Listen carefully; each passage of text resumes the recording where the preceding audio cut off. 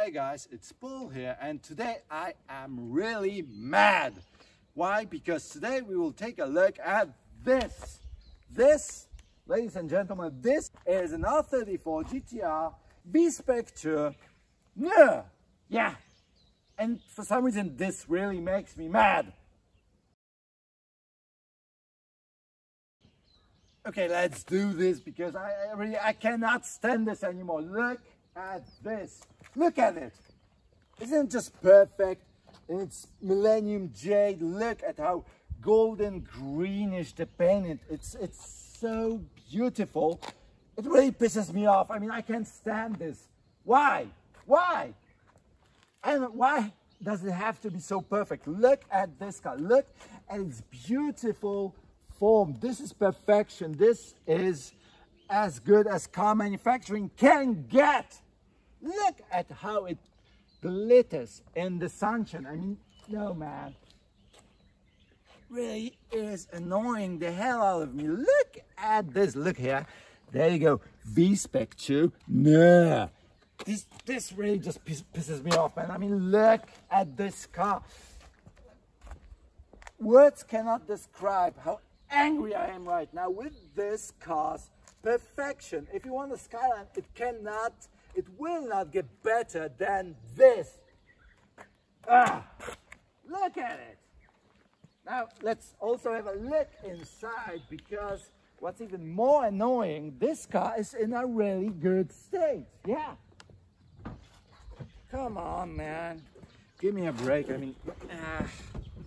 okay. Now, if you follow me here, you can see that this car has only 32,201 kilometer on its odometer, which is its real mileage, which again is extremely annoying me for some reason. I do not know why, but God, look at this. Now look at this speedometer. By the way, eh, it's 300 kilometers per hour, which is more than the 180 on the regular GTR, but for some reason it's 20 kilometers per hour less than it's on the Nismo meter. Still, I guess it's not a bad thing now, is it?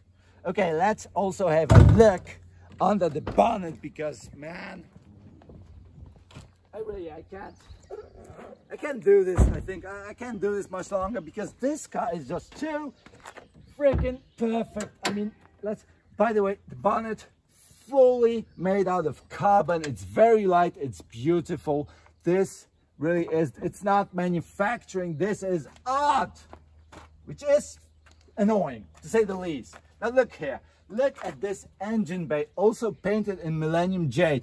And now, as you can see, the engine covers, which on the regular GTR are red, are also painted Millennium Jade as to match the color of the body which makes this car really a complete, perfect work of art. And so annoying, I cannot do this anymore. Look at it, this is the best automotive manufacturing can get. And it's right here in front of us. I mean, man.